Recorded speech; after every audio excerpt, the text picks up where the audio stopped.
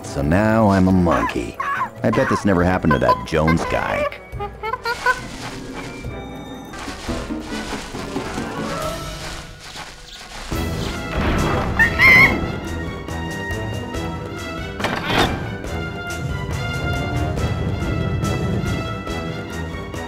If he escapes through that door, I'll never get my body back.